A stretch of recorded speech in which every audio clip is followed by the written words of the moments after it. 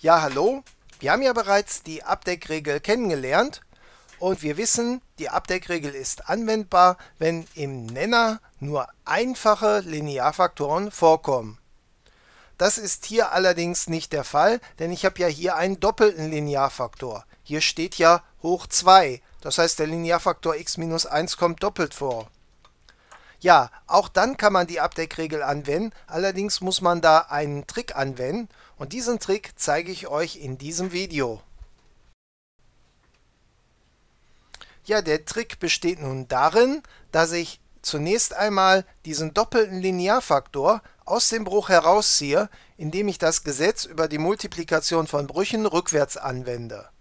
Ne, das Gesetz über die Multiplikation von Brüchen lautet a durch b mal c durch d ist gleich a mal c dividiert durch äh, b mal d.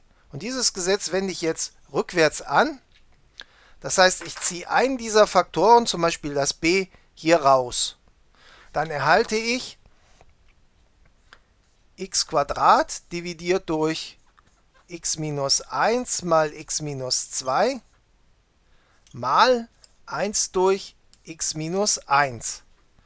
Ne, wir können ja äh, überprüfen, ob wir das richtig gemacht haben, indem wir diese beiden Brüche wieder multiplizieren. Zähler mal Zähler, Nenner mal Nenner. Also einmal x ergibt x, das ist richtig. Und x minus 1 mal x minus 1 mal x minus 2 ergibt x minus 1 Quadrat. Das haben wir hier. Mal x minus 2. Das haben wir hier. Haben wir also richtig gemacht. Wir haben einmal hier diesen doppelten Linearfaktor rausgezogen. Ja, und dadurch haben wir eben erreicht, dass im Nenner nur noch einfache Linearfaktoren vorkommen, zumindest hier schon mal in diesem Bruch. Allerdings haben wir ein neues Problem geschaffen in diesem Bruch. Was könnte das für ein Problem sein? Ja, das Problem ist, der, das Zählerpolynom hat den gleichen Grad wie das Nennerpolynom. Hier habe ich den Grad 2 und wenn ich die beiden Klammern ausmultipliziere, habe ich auch ein Polynom zweiten Grades. Ja, und wenn der Grad des Zählerpolynoms gleich den Grad des Nennerpolynoms ist, dann kann ich ja die Partialbruchzerlegung gar nicht durchführen. Ich darf da gar keinen Ansatz machen. Ne? Das ist ja die Voraussetzung für die Partialbruchzerlegung.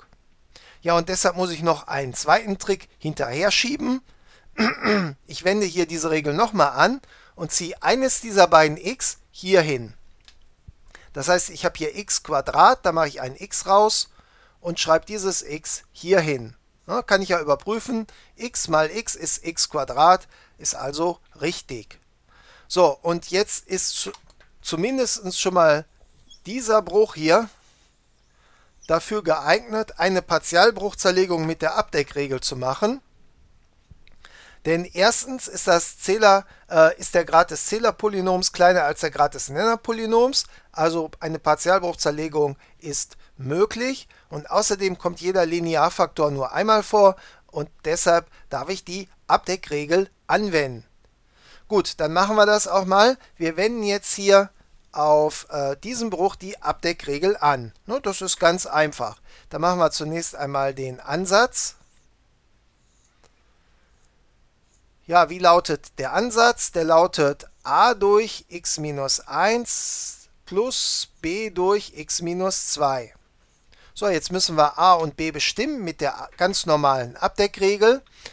Wenn wir a bestimmen wollen, müssen wir x minus 1, also den Term, der da drunter steht, abdecken. Ne, also decke ich den mal hier ab. Und jetzt den Grenzwert für x gegen plus 1 bestimmen. Das heißt, ich muss hier und hier 1 einsetzen. Ja, machen wir das mal. Dann habe ich hier 1 durch 1 minus 2, das ergibt zusammen minus 1. Das gleiche machen wir mit dem b. Wenn wir das b bestimmen wollen, müssen wir den Term, der da drunter steht, abdecken, also dieses x minus 2. Dann den Grenzwert für x gegen plus 2 bestimmen. Das heißt, hier muss ich eine 2 einsetzen und hier. Dann erhalte ich 2 durch 2 minus 1 also 2 durch 1, das ist 2. Mein b ist also gleich 2. So, und dann kommt natürlich noch dieser Term hier hinter. Jetzt würde man eventuell folgendes machen können.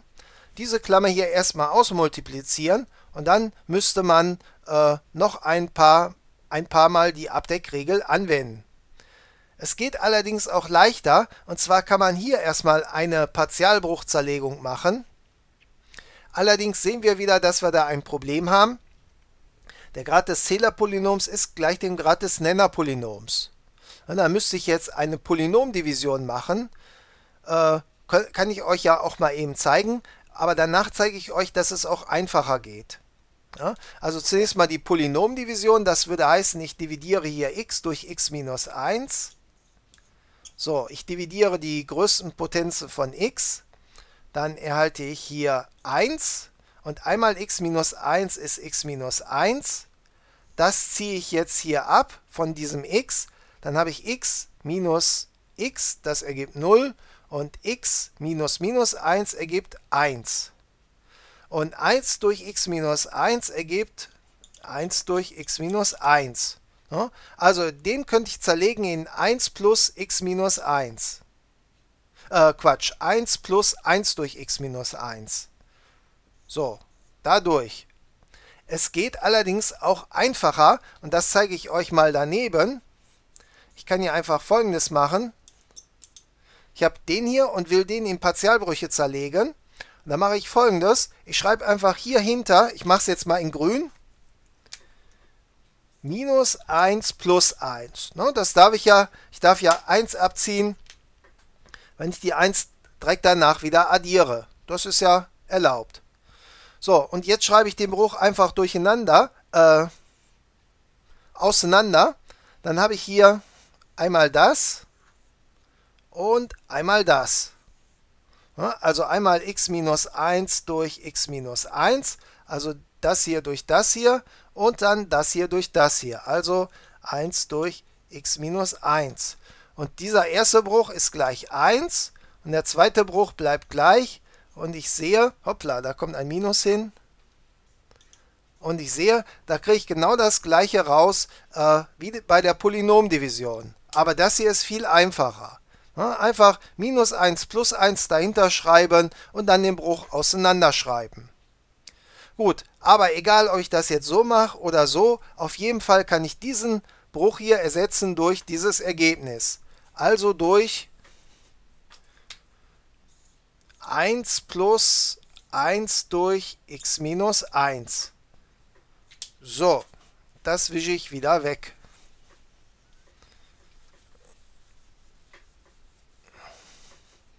So, jetzt müssen wir die beiden äh, Klammern ausmultiplizieren. Also jedes Glied mit jedem Glied multiplizieren. Das hier mal das hier ergibt das hier. Ne? Also minus 1 durch x minus 1. Das hier mal das hier. Was ergibt das? Zähler mal Zähler ergibt äh, minus 1 und Nenner mal Nenner ergibt x minus 1 zum Quadrat. Gut, dann das hier mal das hier ergibt ganz einfach den ersten Bruch und das hier mal das hier ergibt 2 mal 1 ergibt 2 und das hier mal das hier ergibt x minus 1 mal x minus 2. So, gucken wir mal, wo wir schon überall Partialbrüche haben. Das ist ein Partialbruch, das ist ein Partialbruch, das ist ein Partialbruch, das ist noch keiner hier. Also hier haben wir nochmal was zu tun.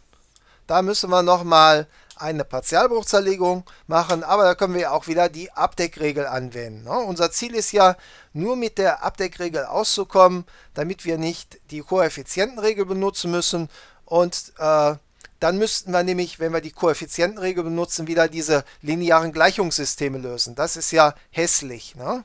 Gut, also machen wir das mal eben. Ich schreibe erstmal die ersten Terme hier wieder ab.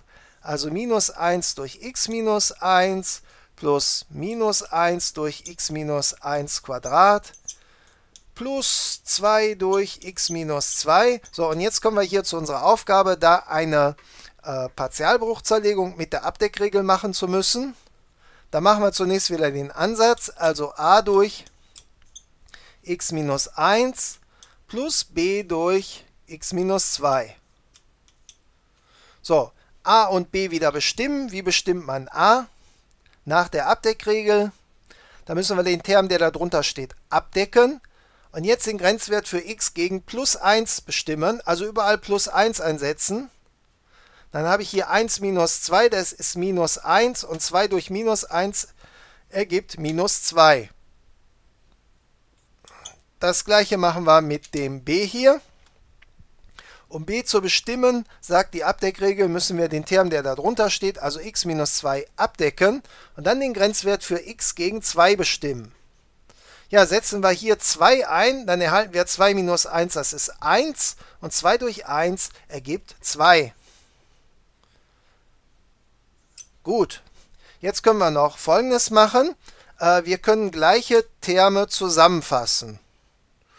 Ja, fangen wir mal hier an. Da haben wir hier einmal äh, 2 durch x minus 2. Das haben wir hier nochmal. Das ergibt also zusammen 4 durch x minus 2. Ja, also die beiden hier habe ich zusammengefasst.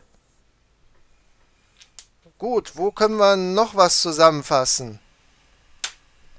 Wir können hier noch äh, das hier zusammenfassen, weil hier steht x minus 1 und hier steht auch x minus 1. Können wir auch zusammenfassen. Dann erhalten wir zusammen äh, minus 3, ne, minus 1 und hier haben wir minus 2, ist zusammen minus 3 und der Nenner ist hier bei den beiden x minus 1. So, Machen wir allerdings ein bisschen hübscher. Das Minus schreiben wir hier vor. Gut, und dann bleibt dann noch einer übrig, nämlich er hier. Und dann machen wir wieder das gleiche, das Minus schreiben wir davor. Dann erhalten wir äh, minus 1 durch x minus 1 Quadrat.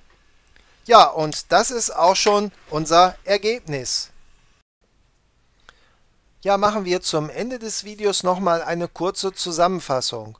Unser ursprüngliches Problem in diesem Video war gewesen, dass wir hier die Abdeckregel nicht anwenden dürfen. Warum? Weil hier mehrfache Linearfaktoren auftreten. Dann darf man die Abdeckregel nicht anwenden. Ja, und da hatten wir uns einen Trick überlegt und der Trick lautete, wir nehmen diesen äh, mehrfachen Linearfaktor und ziehen ihn, ihn hier einfach hinter dem Bruch. Ne? Wir schreiben den extra, in einen Extrabruch.